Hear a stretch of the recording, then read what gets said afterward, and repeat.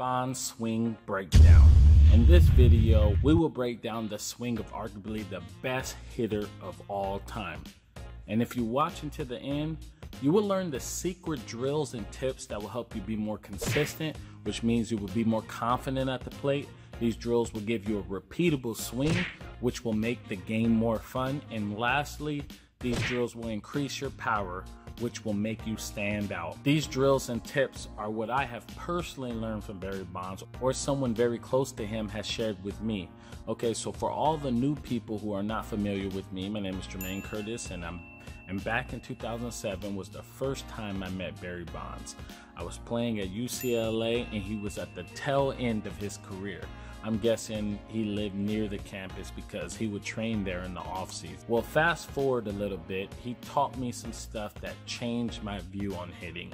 And what I'm going to share with you today helped me get drafted to play professional baseball and play in the major leagues. Okay, so the first thing I want you to see is his rhythm. Notice how slow he is. Notice how comfortable he looks in the batter's box. The pitcher in this video is probably throwing low to mid 90s and Barry Bonds looks as comfortable as watching TV on a Sunday evening. See, all great players have this confident feel, this slow rhythm, their rhythm, and it's important that you find yours. The drill I have for you that will help you find your rhythm is the jazzy drill. I learned this drill from Tony Gwynn, and Tony Gwynn was close with the Bonds family, so I know he knows about it. The jazzy drill is very simple, but before explaining it, let me share with you how it came about. I was hitting in the cage and I was a young hitter thinking I was the man crushing balls in the cage in front of Tony Gwynn. And Tony noticed that I seemed a bit out of control and not in tune with myself. I had been a good hitter, but still there was some improvement I had to make. So, anyways, he stopped me while I was hitting and said, Man, you need to slow your body down. If you do this, you're going to slow the game down and ultimately you will have more success. I was sold, especially since I was learning from someone who was a great hitter. But I didn't understand how I could slow my body down. And I'm the type of person that asks questions. So the first thing I said is, How do I do that? He said, with the jazzy drill. He then walked over to the stereo, which at this time was playing a 50 Cent song, and put on some jazz. As the song played, he said, Sync yourself to it, be slow. You can always speed up, and you will speed up during the game naturally. But if you're slow in practice, you will be more successful in the game. After that day, when I have felt rushed or inconsistent or like I didn't see the ball well, I always went back to the jazzy drill and it always got me back to where I needed to be. The next thing I want you to notice is the way his bat is straight up. Most Hall of Famers have their bat straight up.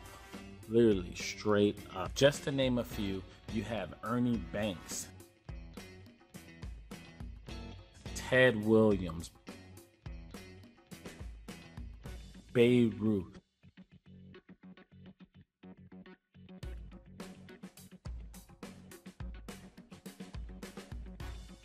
And the list goes on. But if you have the bat straight, you need a bit of movement to get everything going. So the next thing I want you to notice is his barrel tip. The barrel tip keeps everything in sync and could be labeled into the first point rhythm, but I wanted to I wanted it to be separate. And when I asked Barry, why do you do the barrel tip? His reply was, it's like putting a hammer in your fingers and hitting a nail. I was a bit confused.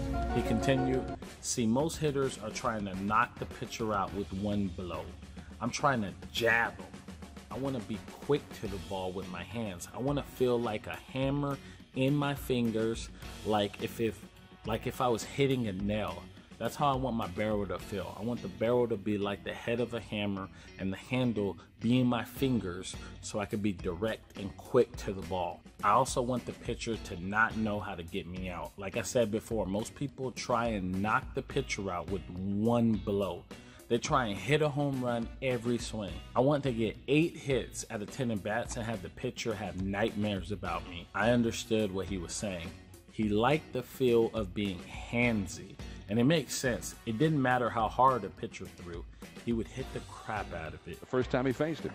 Bond swings, and there it goes. It's headed for the McCovey Cove. It is gone, a home run. So the next point I want you to see is how his hands get up after he barrel tips. If you are going to barrel tip, you got to make sure you bring that bat up to where it needs to be. The drill I recommend is extreme high tee. The drill I recommend is extreme high tee. It's one of those drills that creates that handsy feel, but teaches your hands to get up, get back up, and gets your top hand working, which Barry absolutely loves. More on that in due time. When you do the extreme high tee, focus on being square. This means shoulders in line with the pitcher. This is similar to the drill Christian Yelich recommended as it's going to clean up all that unnecessary movements in your swing. The next thing I want you to notice is how he stays on his backside and is balanced. In the late 90s and early 2000s, this is what they were teaching, and mostly all big league players were doing this style of hitting, which was eliminating extra movement and staying on your backside. The drill I recommend is the catch drill. Barry Bonds absolutely loved this drill, and this drill quickly became one of my go to drills and favorite drills. The way you do this drill is if you are a right handed hitter, you would put a glove on your right hand, and if you are a left hand hitter, you would put a glove on your left hand. What you want to do is have someone flip you the ball and you catch it with your top hand.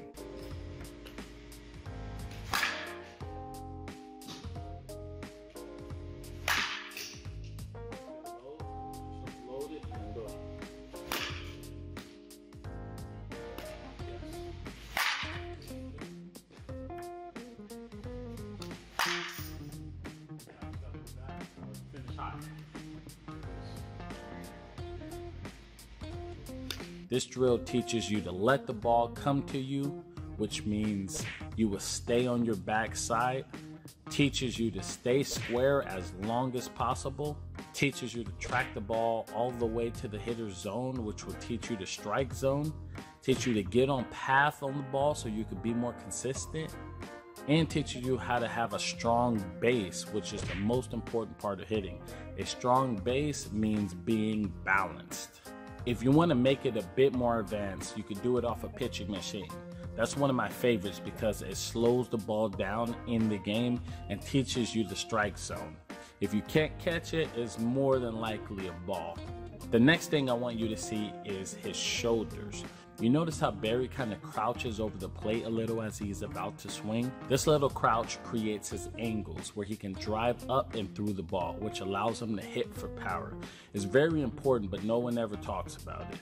See, your bat follows your shoulders. Look at a golf player. Notice how the golf player swings and the ball goes up. Look how they are crouched over the ball,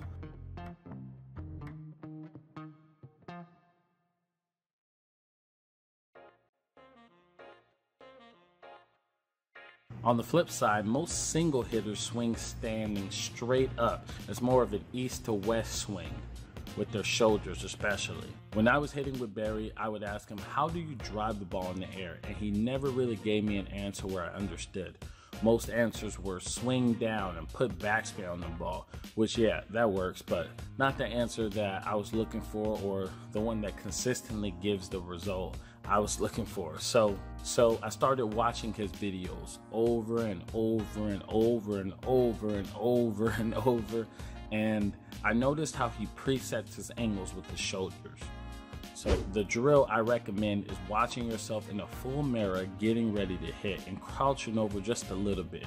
You're gonna have to take some time to learn this, but once you do it, you are gonna unlock that power within. The next thing I want you to see is how his swing is so short, but he gets extended through it.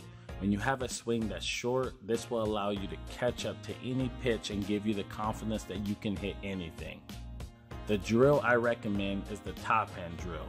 When we hit together, we focused a lot on our top hand. We used a small bat and we started with soft toss. The goal is hit it with the top hand and continue through it. So we are not trying to hit low line drives. We want line drives to have an upward angle. The last thing I want you to notice is the finish of his swing. He keeps turning and can walk out of his swing. And an A swing is a swing where you should be able to walk out of it after the swing. The drill I recommend is a simple drill. Just take front toss and after a full swing, walk out of your swing. The best part about this drill is if you are not balanced, you will not be able to walk out of it. So it teaches you to be balanced. Okay, so I thought I would add a few bonuses that you can do. That Barry Bonds and I would do together that I did not talk about in this breakdown. Also want to include some information that's going to give you ridiculous results and bring all of this together. So make sure you go and hit the like button as well as the subscribe button and turn on bell notifications so you can join the Pros Cave family and receive more videos like this. It will help me help more players, so please go do that if you have found some value in this video. Okay, so the first bonus is to hit off a pitching machine. Most players hate hitting off a pitching machine, and I get it, it's hard. It's hard because there is little to no rhythm and you can't time it up. Plus, the ball is not consistent. These are exactly the very reasons why you should be hitting off a machine. It's also what made Barry Bonds so great. He lived off hitting off a machine and at max velocity. Hit off the machine, we turned it up to high speeds. And after every time we squared the ball up, we would go closer to the machine. I would get as close as 10 feet away from the machine, but Barry was like five feet away and still squaring it up, squaring each ball up. Once you go as close as you can, work your way back. Each time you hit a line drive, take a step back all the way back to home plate. This is why he looked so comfortable off of high pitching velocities. He had trained himself to hit off high velocity. And since you can't get much rhythm or timing off a machine, it forces you to get ready to hit. Then all you need to do is just react to good pitches. This is how you'll be able to be more consistent as a hitter because you will slow the game down and you will notice the ball will go slower and you will naturally pull balls correctly. This was my experiences and I hit off the machine so much my teammates they call me a machine killer. By the way, it absolutely translated over into the game. The next bonus I want to share with you is having a sidearm BP pitcher. Barry had a lefty sidearm BP pitcher that he would face pretty often often.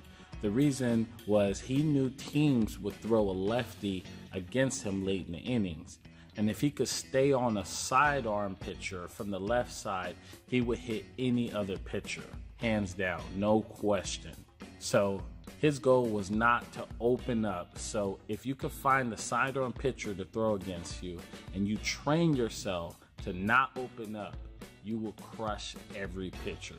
So I didn't actually get a sidearm BP thrower, but what I did was put a machine at an angle. Since I'm a right-handed hitter, I put the machine where it started a little from behind me and came in at an angle. This taught me to keep my front shoulder closed, and the more you keep your front shoulder closed, the better you will be as a hitter. The last bonus I have for you is the most important of them all. See, the drills work, but without what I'm going to share with you, it doesn't take you to the next level. The only thing you are missing is the approach at the plate. If you don't know what an approach is, it's basically your plan before stepping up to the plate. When I was hitting with Barry, he, he asked me, Where are the pitchers taught to throw the ball? I said, Down. He said, Mistakes are up in the zone.